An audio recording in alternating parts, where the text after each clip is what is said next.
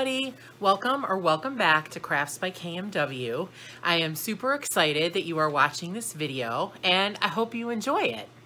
So today I went to a thrift store for the first time in probably three, four years. I'm not a big thrifter, not because I don't like deals, but just because I just don't think to go to them. So I was inspired by watching a video by Mira Byler, which I watched yesterday.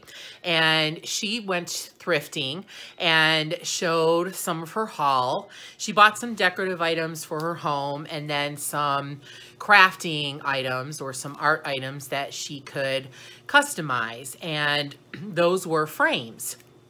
And so I really loved what she did. She painted um, an art piece for one of the frames. And then for the other one, she actually decorated the frame, painted it, and then put an art piece inside. Now, I'm not an artist. I do not paint. I do not draw. I usually put photographs in my frames, but sometimes I do alter them and change the look or add some embellishments on them. And I was so inspired by her video that I went to Goodwill today and I got $125 worth of stuff. So some of the things I bought were decorative items and for my house or household items. For example, I needed a set of mixing bowls and I found this great set of six metal mixing bowls for like $15. So I bought those. Um, but I wanted to show you the crafting or art items that I got. And I will talk about how I'm going to customize them or what I'm going to use them for. So hopefully you'll get some ideas. And if you're not a thrifter like me, um, I definitely recommend going at least once to one store and seeing what you can find because sometimes there can be treasures there that you don't realize that you're missing out on. So I'm going to flip the camera and get started with the video. Okay, so I am back. And the first item that I got was this cool adventure book. I've actually seen this in stores and the price is much higher than $3.99. So I was really excited to get this for $4. It's in pretty good shape. It has a nice thick cardboard cover and it ties with this cool rope, which I'll have to retie, but I will do that eventually. And then it just has these blank brown um, craft paper pages, and there's a lot of them. So there's a lot that can be done with this book. So I'll probably use this as either a scrapbook or a journal. And I am definitely going to customize the cover. Um, I don't need a Our Adventure book. So I'll definitely cover at least up to here with either items, um, or I'll print something or use a piece of paper, cover that, and then put some items on there. So when I do customize this, I'll make a video. Um, if you have any suggestions for me on what you think I should put on the cover, I would love to read them in the comments. So the next item that I got is this set of acrylic paints. Now, I believe that this is sold by Target because it does say um, made with Mondo Llama at Target.com. I do not know the original full price of this, but this is obviously a brand new set. Um, doesn't even look like it was opened. And it has 24 colors. I am not a painter, as I've mentioned before. So I bought this because I really don't need a really good, expensive set of acrylics like Liquitex or some of the others out there because I just, I don't paint that much. Um, and the painting I do will probably be in my coloring books or maybe in my journals. So I feel like this will be a pretty good set for me. It has a nice range of colors, nice range of blues. So I think this will, will hopefully be a good set. If you are an artist or a painter, I probably wouldn't recommend this for you. But if you're like me, just a crafter, um, I think this would be a nice set. And it was $8. So I'm thinking it's probably about half the price of what they sell it at Target. So I thought that was pretty good. So now I'd have picture frames that I bought. So this bag, at my Goodwill, they have lots of bags put together of similar items and then they put a price on it. And they range anywhere from $3.99 to $7.99. And this one was $3.99 and it has five frames in it. I'm just gonna pull this out. I love using these little picture frames because sometimes when you're decorating like a end table or even your fireplace or a shelf, you have little spaces left over that are open. And I love just sticking one of these little picture frames in that space. Um, my parents have passed on, my grandparents have passed on, most of my family members have passed on. So for me, having pictures around is really important. It helps me to remember those people, think about the good times. And um, it's just something that I really love to have around. So they're not the best quality. Um, a few of them are missing the glass. This one's missing the glass and this one. Although I don't think that's a big deal. I use frames without glass all the time. Um, I will probably definitely paint these two because I'm not a big gold person.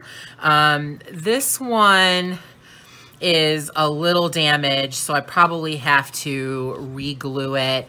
Um, not too fan, not too enthused with the color of this one, so I'll probably definitely paint this one. These two I actually like. Uh, my house is mostly red with other accent colors. So this these redwood frames will fit in really well. So I probably will leave them, but I may do some embellishments on the outside of the frame. So I like adding like little flowers or little other 3D elements just to accent the photo. So that's those little frames. All right, next I'll show you this one. It's going to be kind of hard to show in the camera. Um, this is a really big, it's a standing, um, a standing, I think it's, I don't know if it's really meant to hold pictures. Um, let me see if I can turn the camera this way and that would make it a little easier for you to see. Okay, so it's pretty tall and it has this really nice filigree edge to it. It's metal and then it has a base so it stands up. I'm not sure if I'm going to do anything with the base. It looks like it was painted over or somebody tried to, or maybe someone removed some of the paint. Um, so I may do a color wash on it. I'm definitely going to do a color wash on the filigree because I want it to stand out a little bit more. And then inside, I'm probably going to put some paper in or paint it, maybe both. And then add either one large photo or several smaller photos. And this can just stand um, on a shelf or on a table or whatever. So I thought this was a really good steal for $7.99. It actually still has the tag on it. So it's probably pretty new or the person just didn't take the tag off. My mother used to do that all the time, which drives me crazy. I always take the tags off um, as soon as I buy things. So this next one is this um, whitewash wood frame and it has a little clip here. I love these type of frames. So all you have to do is just clip your picture in. Um, this was $6. It does not have a um, thing to prop it up, but it does have a hook so it can be hung and I can probably just lean it against something. I'll probably put it on a table. I'm not sure if I'll hang it. So this comes off, it's just put on there with a brad. So I'm gonna be able to take this clip off and then change the paper inside. Pinks are not my color, so I'll probably um, put some um, other decorative paper down here that has my colors in it, reds and greens and um, and blues. So this should be a fairly easy fix. I don't know if I'm going to embellish as well. I may, depends on what photo I'm gonna put inside. So like that one. And then this one is just a very simple silver frame. Sorry, the glass, you can see my chandelier in the glare, so I'll move that over for you.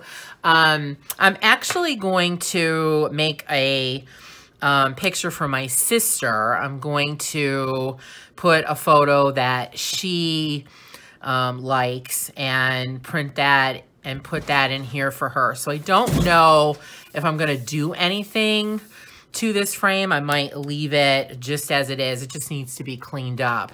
But this was $3.99. I took the sticker off already. And it does have the back so she can display it on a table. So that will be a nice gift for her for not a lot of money.